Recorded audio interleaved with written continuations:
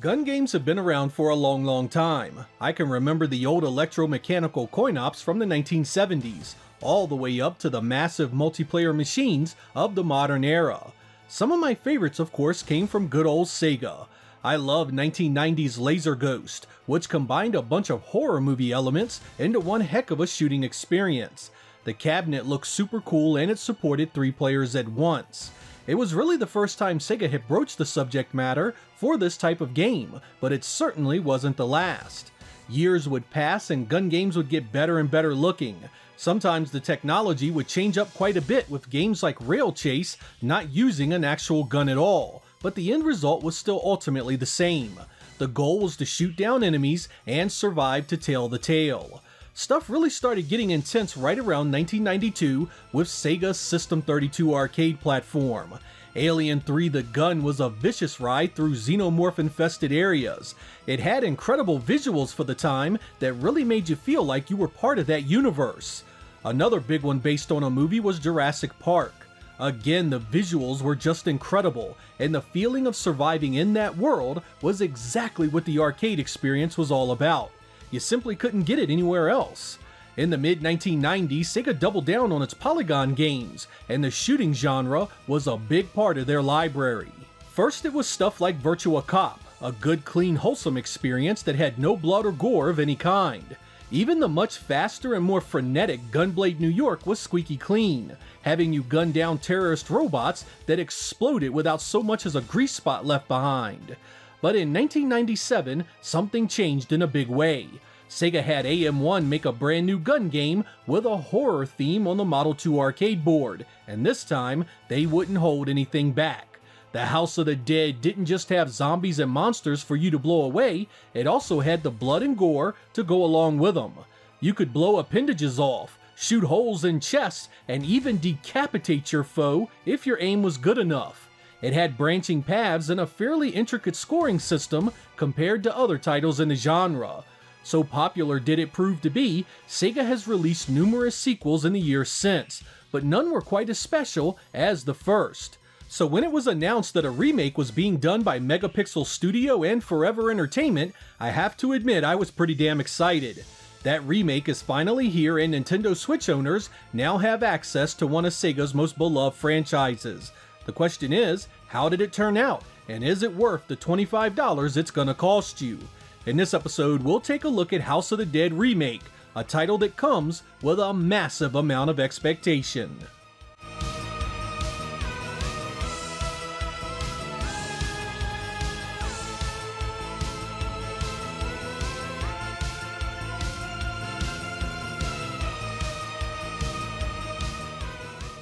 The story here is brief and ultimately unimportant.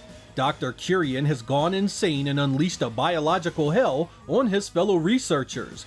By the time you receive a call from your fiancée Sophie, the entire research estate is infested with zombies and all sorts of horrors from your worst nightmares. As I pointed out, the original House of the Dead was a gun game, so bringing it home today meant that some things would need to be altered. This comes in the form of three control schemes. The first is a traditional crosshair on the screen that you move around with the analog stick.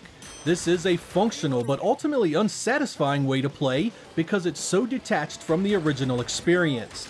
The second method uses gyroscopic aiming that brings things closer to the feel of wielding a gun at the screen.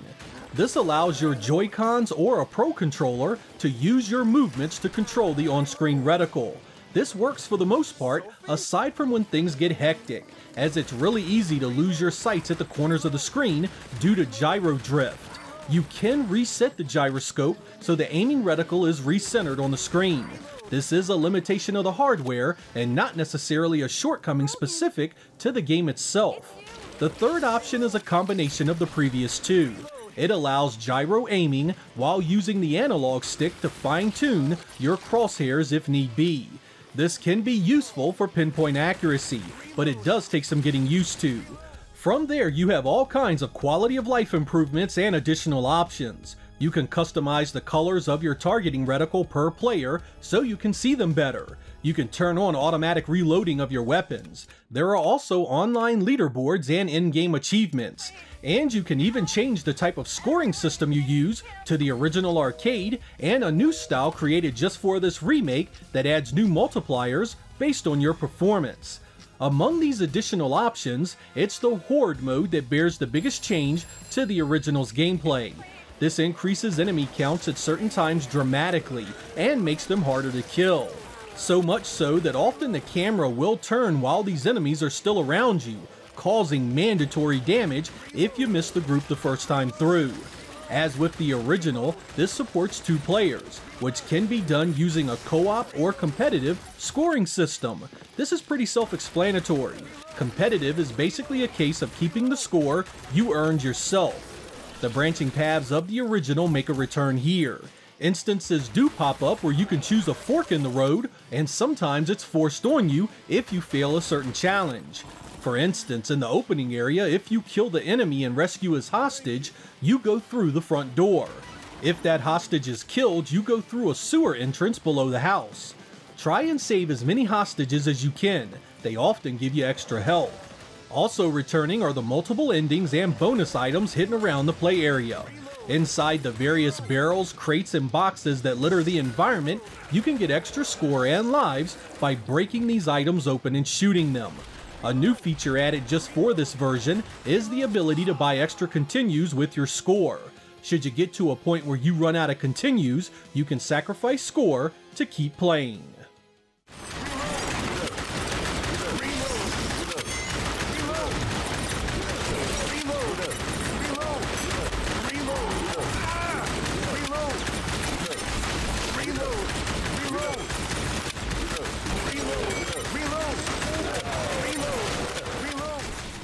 As you have seen thus far, the visuals have received a huge overhaul from the Model 2 original. Nothing familiar remains of the original engine. Models, textures, lighting, and every other special effect you can think of has been dialed up far beyond the original. 25 years of advancements have now made this classic resemble the more modern House of the Dead entries like Scarlet Dawn. I actually quite like this new look as it's much darker and creepier. Making your way to the house in the opening segment fills you with a sense of dread the original never could have provided. Fortunately, this graphical upgrade doesn't rip the essence away of what made it so fun to begin with. The hokey opening cinematic is still here, the voice acting is still terrible, and the environments still retain a familiar aesthetic. Moreover, I feel this upgrade has given your surroundings much more punch, more personality, and really brings out the horror element quite nicely. Of course, being a Switch game, you do have options that you should be aware of. There are two modes to play this in. The first is Performance, which prioritizes frame rate and the overall smoothness of the experience. Turning performance off puts all the emphasis on the quality of the visuals, sacrificing some of your frames. There is a notable difference between these two options, especially in handheld mode, where things can get quite choppy.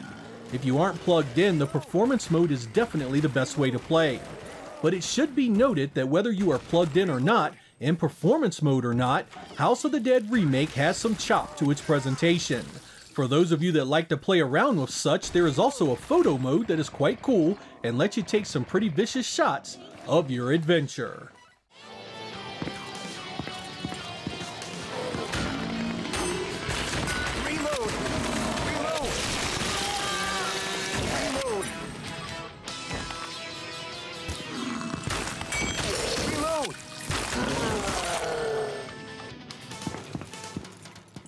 The remake here has a completely new soundtrack. It's a combination of the familiar and new, and most of it fits the game fairly well.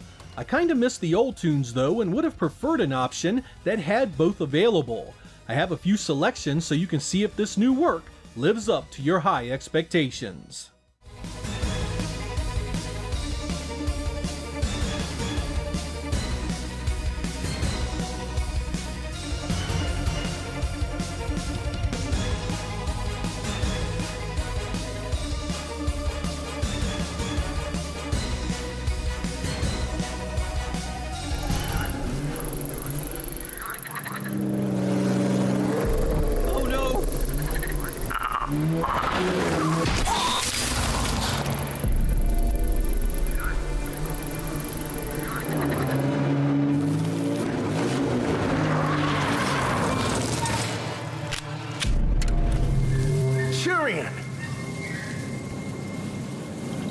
I must compliment you. I didn't think you could make it this far.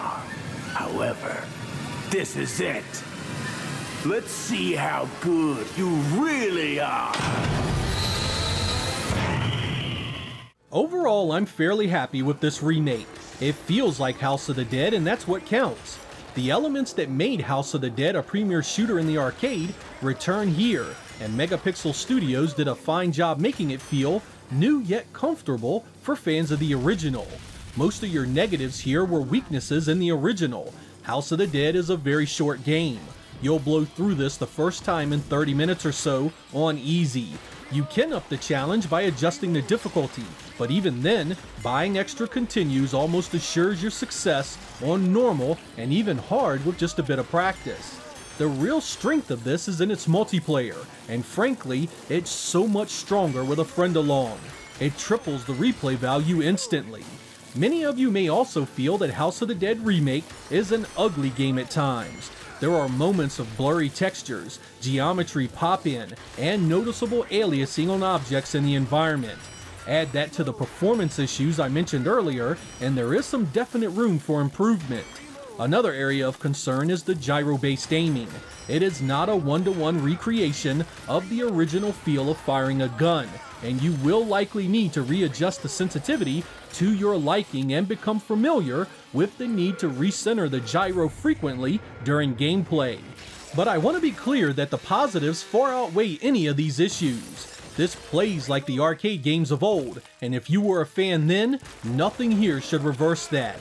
It has new options and features, and the ability to aim like you are playing it with a gun helps immensely. There are also some really nice features like the gallery. This is both an enemy viewer and a strategy session rolled up into one. As each enemy models for you, you also get a chance to see their weak points. For those of you that assume the head is the best point of weakness on every enemy, think again. Sometimes it's the chest, sometimes an arm. Bosses are not the only enemies in this game where knowing where to shoot them is important.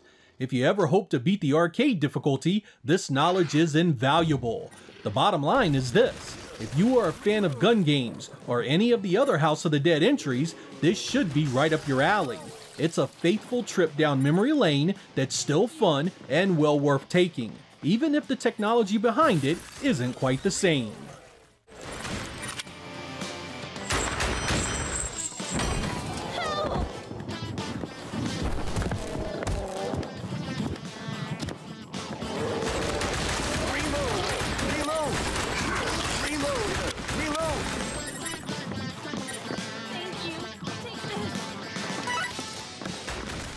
The House of the Dead franchise has really grown over the years. If you add in the spin-offs, there are over a dozen of them now.